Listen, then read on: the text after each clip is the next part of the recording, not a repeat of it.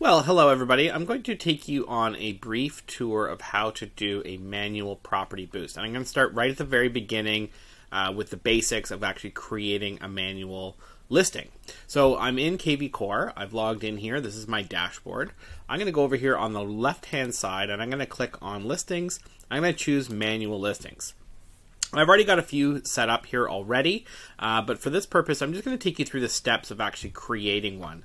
So I'm going to click on here to say add a listing, and I'm going to create a new listing. And I'm going to use my, uh, I'm going to use an address uh, just down the road here from where I live to just get this going for you um, and using a fancy postal code.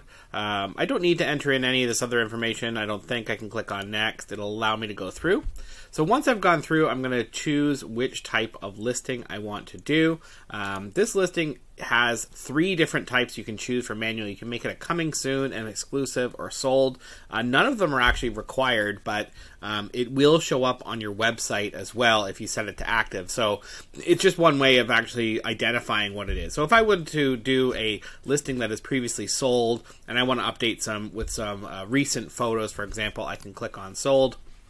Uh, I can choose other details. Uh, the important ones you want to do for Property Boost are going to be the number of bedrooms and the number of bathrooms. Uh, for example, here I want to set this to four bedrooms, two bathrooms. It's a two story home. Uh, just to get some basics in here that will show up on the ad. Bedrooms and bathrooms always show up on Property Boost listing ads, so you want to make sure that you at least have those populated there. Um, I'm going to scroll through. You can you can add as much or as little details here as you want. For the purposes of what I'm doing with Property Boost, I just want to have the number of bedrooms and bathrooms uh, because they will show up on the ad.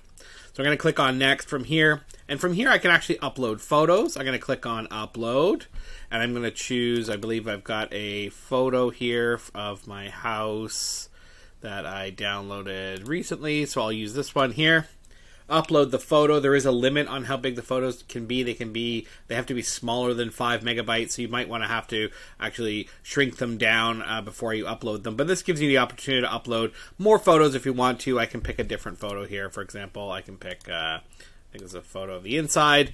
You have a couple of photos to choose from. So I'm going to click on next you want to set the price here. Uh, if you want the price to show on um, on your uh, property boost ad, you're going to want to make sure that you've got your um, your price populated here as well. so you make sure you put that in, and that's really all you need to do. So now I've got my new listing. You can see it right here that I just created. Uh, it's got this great information on it. You can go back and edit it if you want to. You can add more photos if you need to whatever you want to do, but you've got all this information created in the manual listing. From there, what I'm going to do is I'm going to slide over to Property Boost. So I'm going to slide over to Property Boost. I'm going to click here on the uh, on the start uh, page, the home page of Property Boost, and I'm going to enter in a property address. So I'm going to create uh, enter in the address of the uh, of the listing that I just created. I'm going to search for it here. There it is. Now you can always tell which listing you have that is manually created because it'll have this manual inside of the um, inside these uh, parentheses after the address. By contrast, I can look for a different address. Oh, not Payne, it's Pine. Pine Brook. Oops, I think it's 367. Now you can see here, this is a real MLS listing. So Pinebrook uh, in Bedford, New York, um, it has nothing in parentheses after the address. That means this is an active MLS listing. And then here I've got a version of this same listing that I'm searching for that also has sold in the parentheses, meaning that that is a, a previous sold listing for that address that I'm looking for. But for these purposes, I'm just going to go back to my the one I just created. This is my manual listing click on it, use selected listing.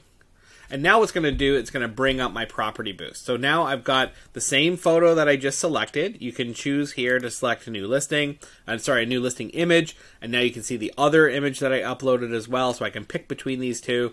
But this uh, primary image that I upload is good. So I'm going to, I'm going to use selected.